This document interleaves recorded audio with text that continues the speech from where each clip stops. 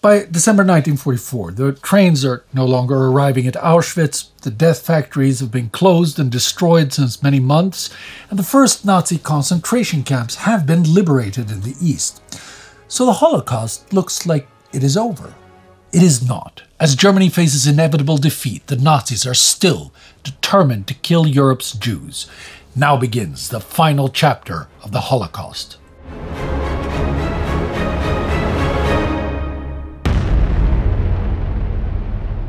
This is War Against Humanity, a series of World War II in real time. I'm Spartacus Olsson. By the end of 1944, the Nazis have murdered close to 5,750,000 Jewish men, women, and children, as well as several hundred thousand Roma and Sinti and non Jewish Poles.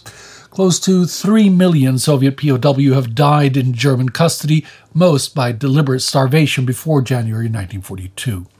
Several hundred thousand more have been murdered in reprisals for resistance and partisan activities. Millions of POW and civilians are held as slaves inside the Reich, varying degrees of miserable conditions. Inside the concentration camp system, 1,650,000 people from across Europe have been held in slavery and systematic torture. Of them, over 950,000 have been murdered by being worked to death or execution. In December 1944, 700,000 remain in the camps. Of them, about 200,000 are Jewish. They are the last survivors of the Nazi genocide of the Jews. That they are at all alive at this point is part of the Nazis' last ditch effort to maintain their war industry. With the need to rapidly increase production in the spring of 1944, the Nazis adjust their program of extermination of the Jews, pushing more of their Jewish prisoners into slave labor than previously. This is a significant shift in the workings of the Holocaust. Yes, the Nazis have used concentration camp inmates such as Slavs, prisoners of war, and political prisoners for labor since the beginning of the war. And on a relatively small scale, some Jews have also been used for labor, whether in ghettos, concentration camps, or in extermination by labor programs at camps Auschwitz and Majdanek. But for the most part, that has been relatively limited, and on the whole, Jews have been murdered in extermination camps. The murder of the Hungarian Jews in the spring and summer of 1944 is where we see the new dynamic demonstrated very dramatically. While the majority of Jews are still murdered rapidly upon arrival at Auschwitz, about one quarter of the Hungarian Jews are instead selected for labor. From Auschwitz, they are then distributed throughout a growing network of facilities known as subcamps or satellite camps and pressed into service as forced laborers. Here, they join dissidents, political prisoners, captured resistance members, homosexuals, and others that the Nazis consider unworthy of life. While life as a slave laborer is thoroughly miserable and carries a high risk of death, it is something of a stay of execution. Some of them will be among barely 300,000, 5% of the Jewish people captured by the Nazis who will survive the war. We should be clear about one thing, though. The final intention for this system is the same as it always has been the extermination of Europe's Jews. It's just that the Nazis have tweaked their policy so as to extract every last drop of value from their entirely expendable victims before killing them. These subcamps soon become the largest component of the Nazi mass murder system. The network of subcamps grows up in an ad hoc fashion, and they vary dramatically in size and focus. In 1950, a Polish prosecutor will compile a list of 1,050 camps spread across the territory of the Reich. Others will put the figure slightly higher at closer to 1,100. Those are just the camps run by the SS. On top of that, it is estimated that there are a further 1,300 camps run by other agencies like local councils, private companies, and individuals. The work varies widely depending on the local economy and construction projects. In the Althammer subcamp, prisoners work on the construction of thermal electric power plants. In Czechowitz, they clear unexploded bombs from the oil refinery and the surrounding area. In Charlottengrube, they work in Hermann Göring's coal mine. At first, transfer to a subcamp may seem like a blessing. A Hungarian Jew named Gertrud Deák recalls being sent from Auschwitz to Hessisch Lichtenau, a subcamp of Buchenwald at the end of August 1944. At the camp, there were small barracks consisting of six rooms each, with stripes of beautiful tended grass and trees, as well as a beautiful shower room, which was at our disposal and where we could wash ourselves once a day. We had bunks with straw sacks to sleep upon, and though it was quite warm, there was a radiator in every room, and we had central heating. We had three extremely good meals and the Zählappell, twice a day, lasting half an hour only in the morning and in the evening. As Deák would say after the war, life seemed to be a paradise, at least for the first few days. However, when work begins on the sixth day, the true nature of the camp is revealed. One group of women is sent to a munitions factory where they work with the sulfur powder. Their skin and hair quickly begin turning yellow, and some die agonizing deaths from sulfur poisoning. Deák is relatively fortunate. Although her work is thoroughly exhausting, it isn't actually poisonous. Each day she must walk six kilometers to her workplace and then spends her time pulling heavy wagons loaded with newly made grenades, trying her best not to be crushed by the massive weight. Unfortunately, she also falls afoul of her foreman, who often orders her to collect the human waste that litters the factory floor. Conditions worsen at Hessisch Lichtenau as time goes on. The meager comforts that the women enjoyed on their first days are soon taken away. The shower rooms are closed down, the heating breaks, and the food becomes ever scarcer. As the inmates grow weaker and more emaciated, the guards start thinning the population. One day they claim that 200 volunteers are needed for lighter work assignments. Although she puts herself forward, Deak misses out because she is the 201st volunteer. This tiny quirk of fate will save her life. The apparently fortunate volunteers are taken straight to Birkenau and gassed. Deak will go on to survive the war. Perhaps the ultimate manifestation of the subcamp system is the Mittelbau Dora complex near Nordhausen in Thuringia, which was established by the SS as a subcamp of Buchenwald back in the summer of 1943. By now, Mittelbau Dora is large enough to be considered a main camp in its own right, and by the spring of 1945 has 40 of its own subcamps. Some of these subcamps have themselves swollen to a huge size. Lager Ellrich is located at a disused gypsum mine and counts about 8,000 prisoners. Lager Harzungen counts 4,000 inmates. The prisoners in these subcamps work in mining and various construction projects, including roads and railways and the building of an underground petroleum facility. The most notorious part of the Mittelbau Dora network is the Mittelwerk, the vast underground factory in which prisoners build the V 1 and V 2 Vengeance weapons and engines for the Me 262 jet fighter. I talked about this in a recent episode where I touched on Germany's war economy. Mittelwerk is an alliance of Albert Speer's armaments ministry, the army and air ministry, the SS, and private business. Conditions in the underground tunnels are murderous from the start. Inmates are forced to work for 12 hours a day with little food, often while breathing in toxic fumes. Those suspected of sabotage are hanged from the rafters. Some 60,000 people will pass through the Mittelbau Dora system. 20,000 of them will die. As of December 1944, there are perhaps only 1,500 Jews working throughout the network who are deliberately deployed to the hardest and most unpleasant work. But as we shall see, that number will increase dramatically next year. Back in Auschwitz itself, the tyranny of the Nazi murder machine is about to face a small but heroic challenge. For months now, the camp resistance movement has been plotting an uprising. A handful of young Jewish women, including Alla Gärtner, Esther and Hannah Weissblum, and Regina Savierstein, have been smuggling small packets of gunpowder out from their work at the Weichsel Union Metallwerke. They hide the tiny packages of powder in the false bottoms of food trays wrapped in cloth or concealed on their persons. They do this all while knowing that discovery means near certain death. The women then pass their smuggled explosives to others in the camp, like Rosa Robota, who works in the clothing detail. Robota and others then send the gunpowder on to the final link in the smuggling chain, the Sonderkommando prisoners working in the crematoria.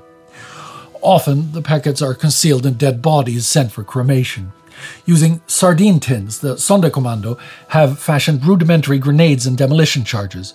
They've also built makeshift knives and axes and have a few small arms supplied through the fences by local partisans. The plan is to destroy the gas chambers and the crematoria, kill as many guards as possible, and launch an uprising. Time is limited. The SS don't allow any Sonderkommando to live for more than about four months. Already these men are the 12th Sonderkommando by early October. They learn that their execution is coming soon. On October 7th, they launch the uprising. The Poles in Crematoria 1 kick things off.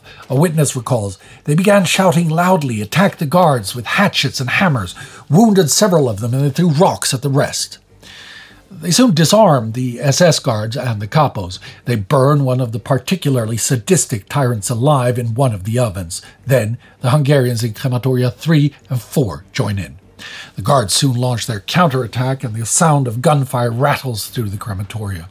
The Sonderkommando cannot hope to win. Their limited stash of small arms and primitive melee weapons are no match for the guards' machine guns. Soon, the revolt draws to its conclusion. In a last gesture of defiance, the Sonderkommando of Crematorium 4 blow themselves up along with the murder chamber. Outside, the Sonderkommando of Crematoria 2 have managed to cut through the wire and take flight from the camp. But with the assistance of local people, the SS quickly recapture the SKPs. Back at the camp, the retaliations begin. Some 250 prisoners have already died in the uprising. On top of that, after interrogation and torture, about 200 Sonderkommando are executed. Before their death, the prisoners give up the names of some of their female accomplices. After months of torture, including beating, electric shocks, and rape, Rosa Robota, Esther Weitzblum, Regina Saphirstein, and Alla Gärtner are hanged on January 5, 1945. None of the women betray any of the others in the smuggling chain. As she meets her death in front of the assembled female prisoners, Robota's final words are Be strong and have courage. Those executions in the first week of 1945 are some of the last to take place at Auschwitz. By the end of November 1944, as the Red Army closes in, Reichsfuhrer SS Heinrich Himmler has already given the order to halt the mass murder by gas, destroy the gas chambers and the crematoria, and to evacuate Auschwitz. The decision has two main motivations. One, destroy as much evidence of the Nazi crimes as possible and prevent prisoners telling their stories to the enemy.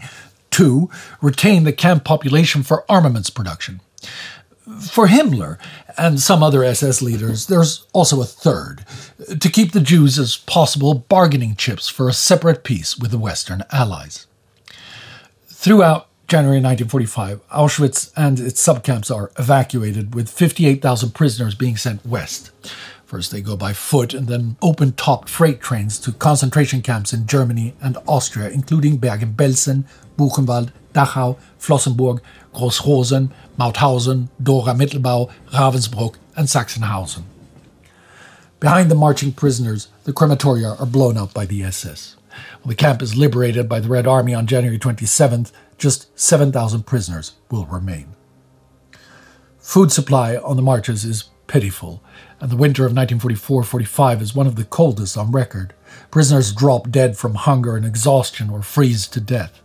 Those who cannot keep up are shot and left for dead in the fields and ditches. Sarolta Mittelmann, an inmate of Mauthausen subcamp, recalls the hunger of the prisoners on the death marches. On the way, we had very little to eat. Hunger was terrific. The men plucked out grass and herbs, which we boiled. Sometimes we managed to dig out a few potatoes, but whoever was caught was bumped off. Nevertheless, we dared it so badly were we famished. Reska Weiss, a middle aged woman from Ungvár, recalls how she lost track of time during the march. Had weeks or months elapsed since we started on this death march? Neither, just a few days. But we could measure time only by the number of our dead. We were really no longer human beings in the accepted sense, not even animals, but putrefying corpses moving on two legs. The Auschwitz Death March is just one of several that will take place throughout the winter and spring of 1945 as camps are evacuated one after another.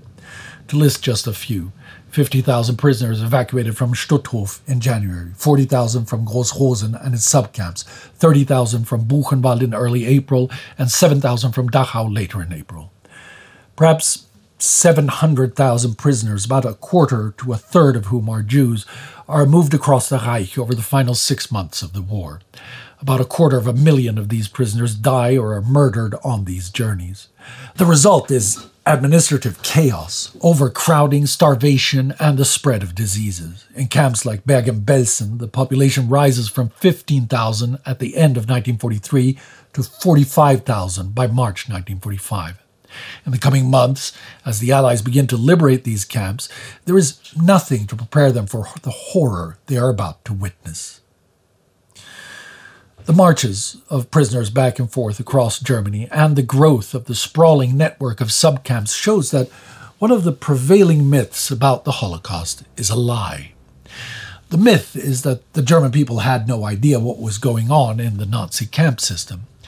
By the end of the war, most towns in Germany and Austria will host a subcamp. On top of that, locals invariably witness the death marches as they pass through towns and villages. Some people watch on, some join the SS in abusing the prisoners, a very few try to supply at least some food or water. A young Bavarian named Benno Gantner manages to capture a group of bedraggled victims on his camera. The population of the Mittelbau-Dora complex will swell in March next year when a group of about 10,000 mainly Jewish prisoners from Grossrosen are dumped into the system. The inmates become part of everyday life in nearby Nordhausen, and after the war, a local teacher will criticize those who claim ignorance of Nazi crimes. Referring to the camp prisoners as zebras on account of their uniform, he says, Everyone heard the zebra columns marching through Nordhausen every morning and every evening. Everyone will have looked at them at least once and seen the men with pale faces dragging themselves along, accompanied by heavily armed SS. How often did a vehicle drive through the lower town in the direction of Weimar, full to the brim with dead bodies on their way to Buchenwald crematorium? Look how many men and women worked with the zebras. Yes, even for the Mittelwerk in Kohnstein. Were these men and women so discreet that they didn't even talk about it at home? I could provide many examples of such people. They prove that we certainly did know something about the Dora camp and its prisoners. And there you are. In 2023, we are appalled at the horror of the Nazi murder machine and how Germans could stand aside and let it happen, even support it.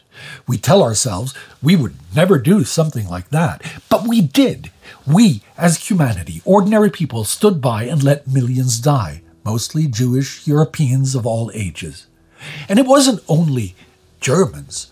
For anyone that follows my series regularly, it should be clear that the world saw and turned its back. To stand up and fight, or even to reach out a hand and try to help, was the exception. Perhaps understandable when doing so was at the peril of your own life. If you were not inside occupied Europe, simple geography was in your way. But those blanket excuses belies the other reality. In the end, inside Germany and across the world, the hatred found support. People did not stand aside mostly out of fear. They turned their backs because they didn't care, or they felt that there was at least some guilt on the side of the victims. The Allied nations did not refuse to take in hundreds of thousands of refugees because they couldn't. They didn't take them in because they didn't consider them worthy of savior, and that the political price was too high to pay for these specific human lives.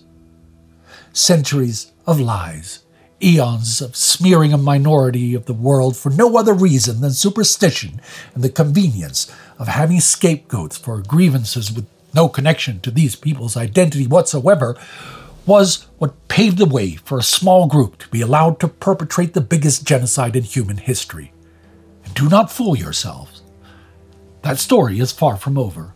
Ask yourself how many times have you heard someone speaking of how Jews do have a higher control of media or more financial power than others? Think of how many times you've heard or even thought that there must be at least some real reason for the hatred. You might not be an anti Semite, or you may not think you are, but that matters little if you do not understand that every time these lies are repeated, it sharpens the scythes that will sooner or later be used to cut down yet more generations of innocent men, women, and children. Never forget.